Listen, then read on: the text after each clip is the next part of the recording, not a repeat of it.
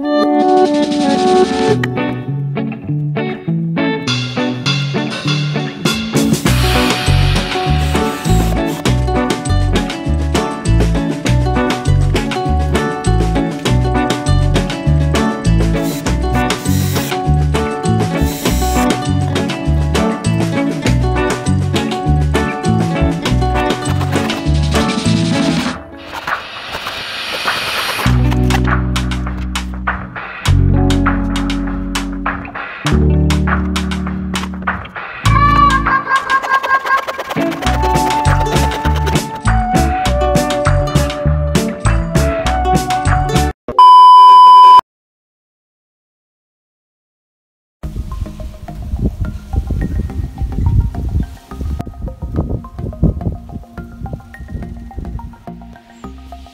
So here we have it. This is the uh, bucket that I'm going to be keeping Terry the terrapin in. Um, obviously, I'm going to be putting the gravel and everything in like that. So yeah, I'll just show you the process of doing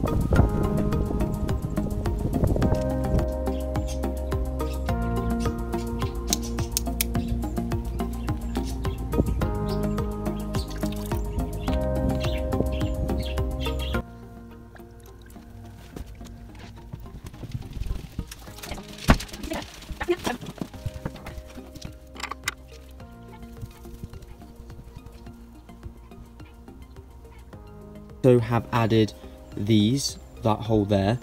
That is because, and this one here. That is because if it overflows, we don't want the turtle escaping. Because if it was to flow all the way to the top, he could easily hop over. But because we've got those holes there now, it'll drain out and never get all the way to the top. So there's no way of him escaping. Also, we did have that log in there to start with, which is the video where I ran through the house getting him outside. But he did have that log, but we put it in and we realised he couldn't actually get on top of it. So we've put those bits of bits of brick on, so on a hot day he can come and bask. But at the moment, it's not been the best of summers this year in England. But at the moment, he's just staying underwater. The turtle can quite can withstand quite cold water, especially at that age. But when it's completely winter, he's either going to go in the greenhouse or in my room, just so he stays a bit warmer and doesn't have to hibernate. So yeah, that's basically it for this video. It was only a short little one showing you the new, new Terry, the Mississippi map turtle. I don't know if I've actually said what he was yet. So yeah, so this is Terry. He's a Mississippi map turtle. They get, well, they get this big. I'll put a picture here of me holding another one. But he's only a little baby. I'm saying he's about maybe one or two years old. I got him as a rescue because someone just, someone found out like how big they actually get and realised, nah, I don't want it. So of course I said, yes, please. And now I've got him. So he's only in this little one for the minute, but he will be going in one about this big later in the future when he gets obviously that big.